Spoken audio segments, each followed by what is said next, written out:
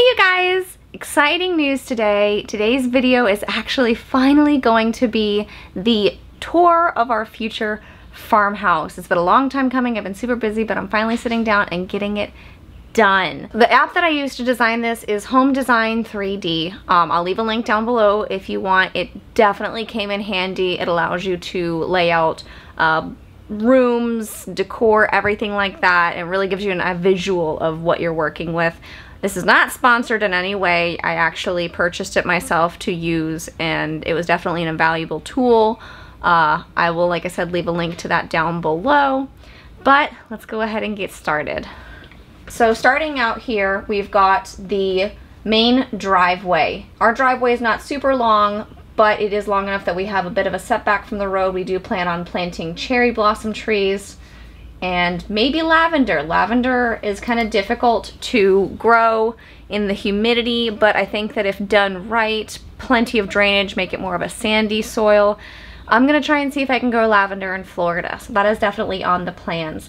The front of the house, some of the inspirations that come from, I actually, we actually got some of our inspirations Okay, I take it back. A lot of the inspirations for this house we actually sourced from Fixer Upper with Joanna and Chip Gaines here is the front of the house. Now we are going to be going with uh, kind of a muted blue with uh, wood tones over it, but you see that open dormer on the front. That is kind of the inspiration for what we have. Now, unfortunately, we couldn't put this into the uh, designer. We've got the open dormer that opens up to the porch. We have a full front porch um, as well as a back porch as well. It, also keep in mind our house pad is um, almost five feet high. The actual look is going to be very different from what you're seeing on here. This is just kind of to give you guys an idea of uh, what it's going to look like. Now obviously we are going to have um, a lot of gardening, a lot of plants, so we are going to have a driveway that kind of circles around, makes it easier to get in and out with a trailer, and also so we have room if we have guests over for parties. And so we will have a tree. We haven't decided what tree exactly we're going to plant in the center of that, but we do know that we want really want to try and plant Japanese cherry blossoms along the driveway because that would look very lovely. Going into the front room, the entrance of the house, we come into the living room. Now the living room and the kitchen are one large open concept style. We're gonna do some kind of a contrast of bright whites and dark uh, slate grays and blacks just to kind of balance that light and airy with the dark and moody. I'm kind of joking around and calling it the yin yang house. But we do plan on having some uh, faux wood beams in there, make it look really nice. There's gonna be a vaulted ceiling we, uh, of course, have to have our gaming center. We like to play video games, and we have two TVs, so we do like to play that. Then the kitchen, we have I am really excited about the layout of our kitchen. We are going to have a huge island that spans, I want to say, roughly about nine feet long that I actually plan on building a uh, kitchen table into, which I'll go over that with you guys here in a minute. But the window above the sink I am super excited about the window above the sink. It looks out into the backyard. It is eight feet long. And then we're gonna have lots of cabinetry for storage. Over here, we actually have the, you'll see this, the floating shelves and such. I'm kind of toying with the idea of putting in a uh, apothecary, a home apothecary uh, area where I can have medicinal herbs and all those kinds of things there. I'm kind of working on doing some research on that and learning that. So that is a potential place for that, potential place for farming books and such, but I'm kind of wanting to have a library some in the house, somewhere in the house for that. Then, so here's kind of uh, inspiration for what we are going to have. We're going to have the dark slate, dark slate cabinets. Uh, we haven't decided what backsplash tile we're going to use. We're still kind of deciding that, um, but there is going to be a mixture. We're not really going to have many upper cabinets in the kitchen, on either side of the stove, we might have some floating shelves for spices. The stove, I am really excited about. So you'll notice here in the island, there is an oven. Uh, this was actually Davis's idea because I love to bake. And um, when I'm cooking, of course, for like family get-togethers and holidays. But I always run into an issue where I'm cooking uh, foods and then I'm wanting to bake uh, desserts and treats and breads and stuff. So he actually came up with the idea for us to put a oven, a baking oven in the island and then put have the regular stove as well. And above the stove, we are going to do, um, I'm going to share, you're going to see the inspiration for it, but there is, you see, you kind of see the brick. It's going to be, that is, we're going to kind of have like an encasement for the vent. Also, playing, we haven't officially decided yet, but I am kind of leaning towards wanting to get a copper farmhouse sink. Farmhouse is definitely, a farmhouse sink is definitely going to be happening, but whether or not it's porcelain, steel, or, um, or um, I guess it would be enamel coated cast iron. Either that or copper. I haven't yet decided, but I, really love the look of the copper sinks. So that is definitely a possibility. And then you'll see this door off to the side. That's actually inspiration for our uh, pantry door.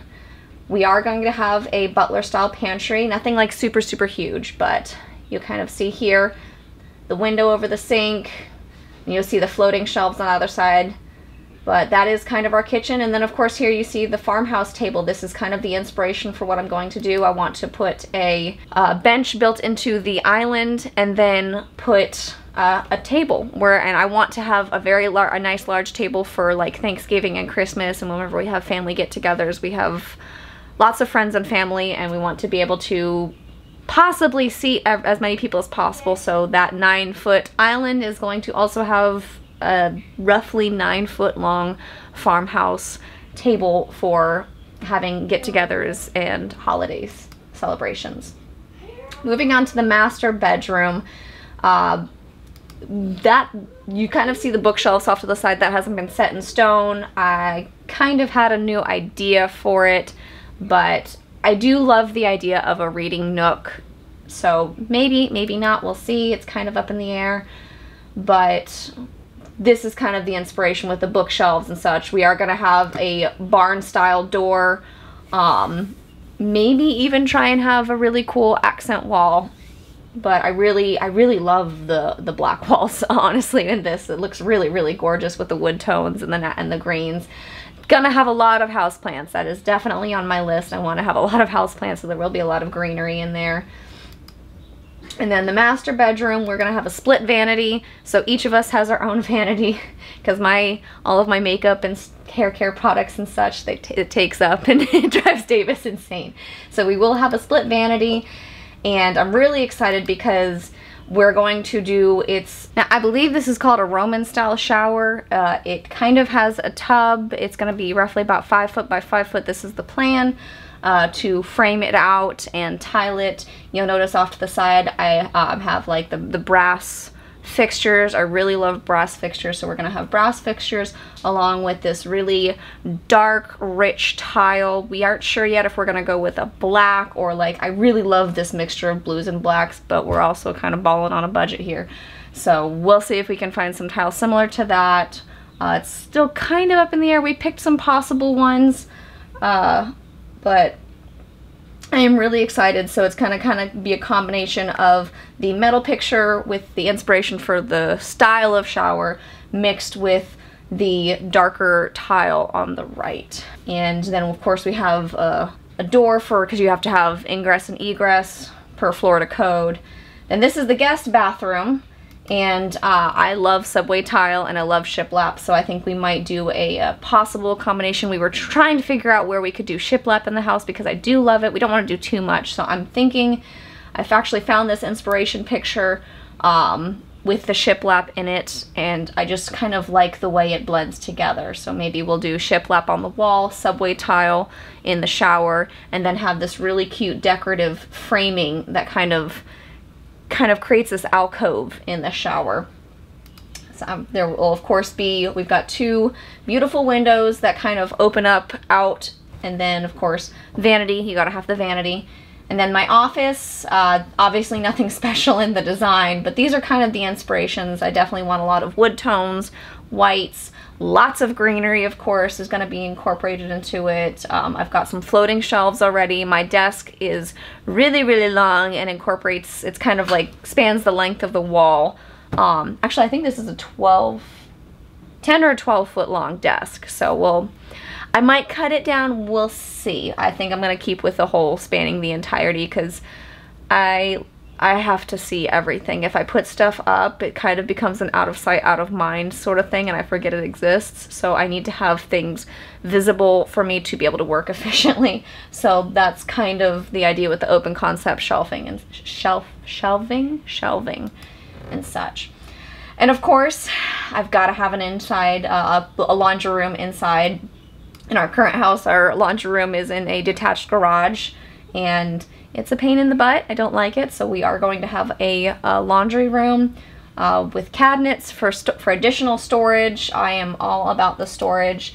Not sure exactly yet what type of cabinets we're going to put in there, what color. I'm kind of leaning toward the continuation of the dark slate cabinets with some pops of white and uh, brass. There's going to be a lot of brass. All of the, uh, the not like the handles, the fixtures, uh, we're to try and have them all be brass. I think it just looks really, really nice to have that pop of gold on um, the dark backdrop. And then of course coming out to the back of the house, we have a full um, back porch. Uh, both of our porches span about six feet deep. And then the garden will be where you guys see it right now. I do plan on fencing it out.